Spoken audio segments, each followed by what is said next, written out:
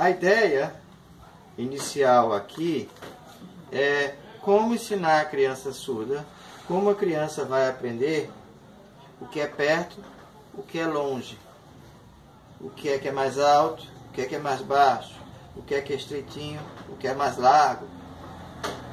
Tá? Então, essa construção precisa ser feita a partir de objetos concretos e de pontos de referência. Por exemplo, a tesoura, a tesoura, ela está mais perto da árvore azul. Eu vou chamar de azul aqui azul e aqui vou chamar ela de laranja, porque todas as folhas são verdes. Então o tronco aqui, ele é azul e esse aqui é laranja. Então a tesoura vermelha está mais perto da árvore azul. Tá claro isso?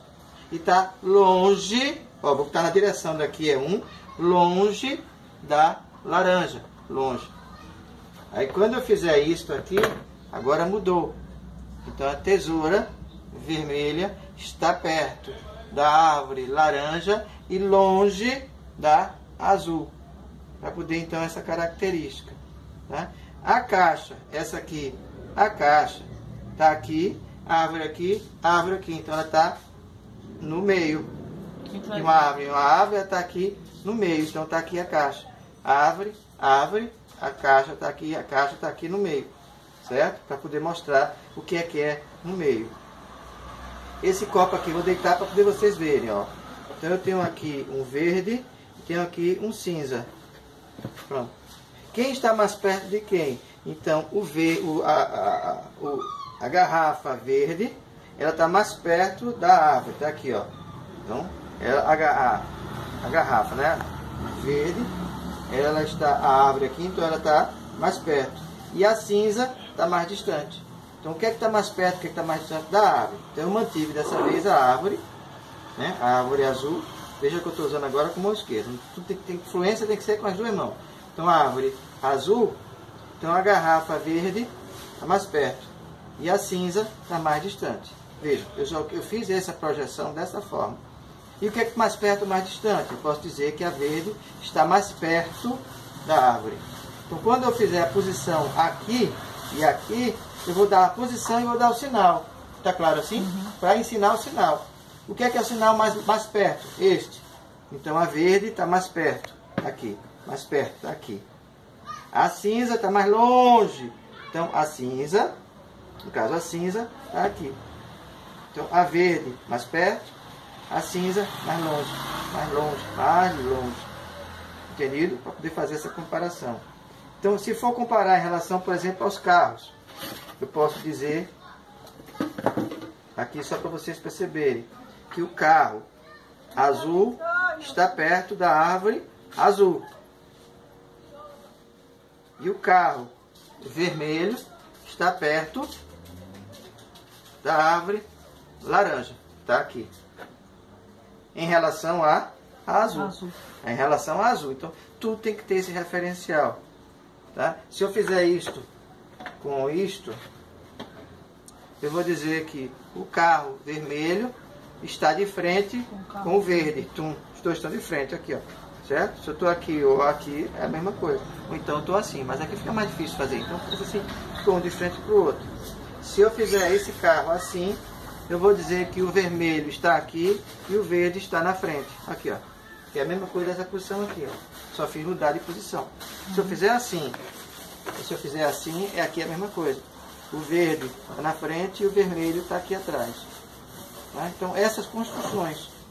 Tá? Agora eu vou dizer que o carro está aqui. Então eu vou dizer que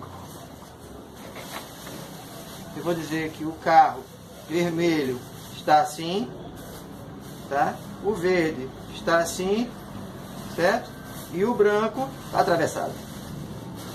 Então os dois carros estavam aqui e agora o outro atravessou. Como não tem outra mão de ninguém para carregar e colocar aqui, eu deixo a mão de referência para dizer que está na frente. E quando eu fiz isso, eu não encostei aqui. Eu fiz assim, espaço. Eu deixei esse espaço para que eu possa botar o branco depois atravessado. Aí sim, eu estou fazendo ponto de referência, o espaço para poder eu deixar está aqui, que é o branco. Tá? Então essas são essas situações. Se eu disser que os carros são dois e dois, por exemplo, aqui, então eu vou dizer que os dois carros estão assim. Os dois estão de frente. Entendido? Ô, Os dois estão de frente e um está atravessado. Então um está atravessado. Tum, tum, tum, tum, e o outro atravessado no meio. Então essa, essa, esse aqui é o ponto de referência e o que você vai colocar que está perto ou que você está longe, a- colocando o sinal e colocando a posição de cada um, para ensinar o conceito do que é perto, do que é longe. Sempre duas coisas de preferência iguais. Uma cadeira maior de uma cadeira menor. Então maior, menor. Mais largo, mais estreito.